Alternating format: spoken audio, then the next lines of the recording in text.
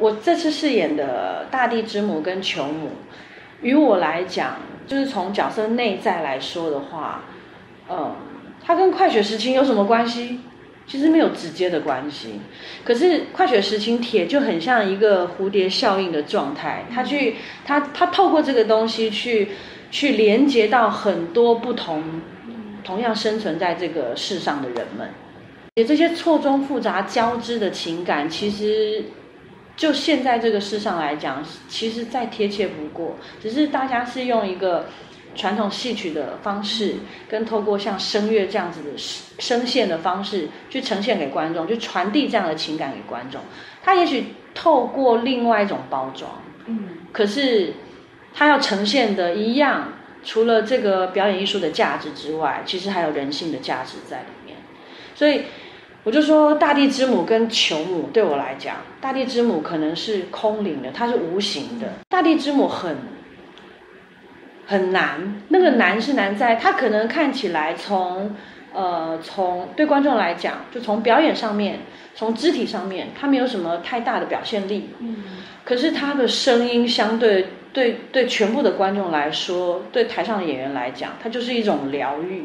它已经它是。完全慈悲的承接这个世上所有发生的喜怒哀乐，然后悲欢离合，可是他又必须无常的观察这些事情的发生。这这两个角色很有趣的，就是琼武就是一个母亲啊，是一个我们真真切切在生活上都看得到的母亲。可是这个母亲她能做的，她她有肉身，然后她也她也跟大地之母一样，其实带有某种慈悲跟母性。可是他最难的就是，他只能用守候，嗯，的这样的爱去去面对那些动荡的关系，那些错综复杂的冲突，他只能用这样子的母性去去看待那样的事情，就包括他的孩子都都都去当兵了，嗯，然后各为其主，他其实完全不能做什么，他其实就相对了我们现在看到的一般老百姓，嗯。他他唯一能做就是在这边长情的守候，然后希望孩子们回家。可是我我就觉得这个剧本哦，就是它很像一把软的刀子，就这样划开每个人的心。然后，即便你可能就是不管大地之母是不是一个非人类的角色，可是回到球母的时候，我每次做那个核实，就是盼望的状态，我其实都会觉得很内在很酸，因为那个东西你。你你的思念、你的担忧、你的牵挂抛出去了之后，那是没有尽头的。我个人觉得，其实生在这个时代真的很幸福，因为我们可以透过不同的形式去了解，不管是剧作家或者是导演，他们想要呈现的东西，那个背后的思考是什么？那其实透过这样子，我就觉得，嗯，我每次在抱孩子唱《良心一亩田》的时候，跟那个女高音的老师。